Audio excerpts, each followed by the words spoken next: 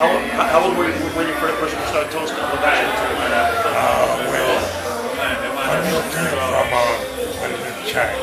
Yeah. growing up, us, you know, and the first grade Sure. TST Sure. on uh, reggae songs class. Yeah. Better come here. I'm Jack over there. And you, and you know, you know, what impresses me about you, man, is, is you get your workout in when you're on stage, man. You, you make that happen.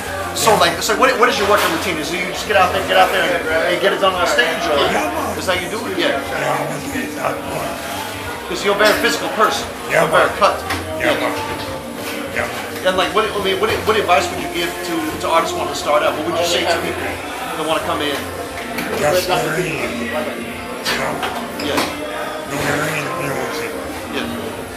you know, because people don't really do